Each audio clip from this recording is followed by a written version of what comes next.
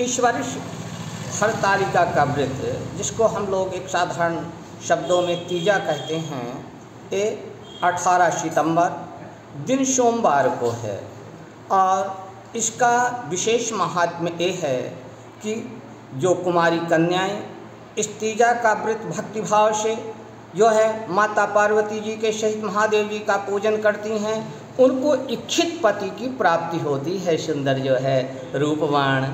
गुणवान, धनवान जो भी उनकी मनोकामनाओं को पूर्ण होते जो सौभाग्यवती, जो है सुंदर स्त्रियाँ हैं, उनके पति की सुंदर श्रेष्ठ आयु की वृद्धि होती है, उनके सौभाग्य की वृद्धि होती है और किसी के जो है सुंदर पति की कुंडली में जो है कोई आयु में गड़बड़ी है, वे विधिवत भक्तिभाव से सुंदर स्त्रीजा हरतालिका का व्रत जो सुंदर करती हैं उनके समस्त अनिष्ट दूर हो जाते हैं। श्रेष्ठ आयु की वृद्धि होती है क्यों? भाभी मेट सकह त्रिपुरारी। किसने किया? कैसे किया? इसको जो है माता पार्वती जी ने किया। ये पहले दक्ष की पुत्री थी और जो कि महादेव जी को जिनका नाम था सती, वे महादेव जी को विवाहित की गई थी। महादेव जी से जिनका विवाह हुआ था लेकिन दक्ष ने जो महादेव जी का अपमान किया, यज्ञ में महादेव जी को भाग नहीं दिया और सती जी वहाँ पर दक्ष के यज्ञ मंडप में पहुँची। महादेव जी का अपमान देख करके भाग न देख करके उनको सहन नहीं हुआ। अपने शरीर को नष्ट करने का विचार की और उसी समय ये प्रभु से प्रार्थना की, जो सती मरत हर शन बर मांगा, जन्म जन्म शिव पद अनुरागा और अपने शरीर को योगाग्नि से दग्ध कर दी दूसरा जन्म उन्हें पर्वतराज हिमालय के यहाँ मिला, जिससे जो पर्वतस्या पुत्रम पार्वती, पर्वत की पुत्री होने के लिए उनका नाम पार्वती हुआ।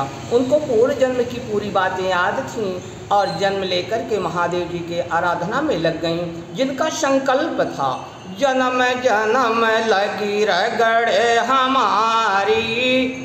बरव शंभो न कुमारी। महादेव जी की आराधना करने लगी। एक दिन नारद जी जो है पर्वतराज हिमालय के यहाँ पहुँचे। पर्वतराज हिमालय ने पूजा किया और पूछा, हे देवर्षि नारद जी, आपका आगमन कैसे हुआ? नारद जी मुस्कुराते हुए बोले, हे पर्वतराज हिमालय, आपकी पुत्री को स्वयं भगवान नारायण ने मांगा है। कि जो है अपनी बेटी का विवाह मुझसे कर दें। ऐसा सुनकर के पर्वतराज हिमालय का मुख प्रसन्नता से खिल गया।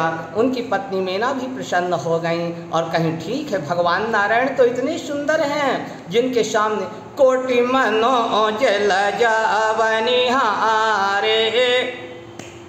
कोटि मनमथ लावण्यो हरिचंदन चर्चित जिनकी सुंदरता के सामने करोड़ों कामदेव की शोभा तिरस्कृत होती है। ऐसे भगवान नारायण ने यदि मांगा है तो मेरा अहोभाग्य है। और सुंदर नारद जी मुस्कुराते हुए पार्वती जी के पास पहुँच गए और कहने लगे, पार्वती, मैं तुम्हारा काम सिद्ध कर दिया।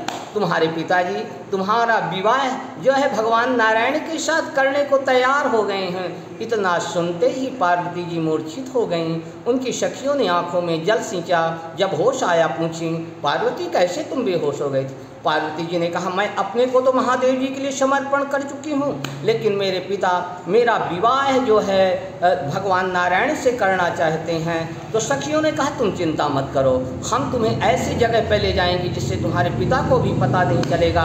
वे दोनों सखियाँ पार्वती जी को लेकर के पर्वत के कंदरा के पास पहुँच गई, जहाँ पर जो है सुंदर गंगा जी प्रवाहित होती थी, और वहाँ जाकर के पार्वती जी तपस्या करने लगीं, और एक दिन पूरा दिन कुछ नहीं ली, पूरी रात्रि कुछ नहीं ली। और उसी दिन ही महादेव जी के सुंदर बालू के जो है सुंदर लिंग की स्थापना करके और विधिवत पूजन करती रहीं, पूरी रात्रि जागृत करती रहीं, उनका सुंदर यशोगान करती रहीं।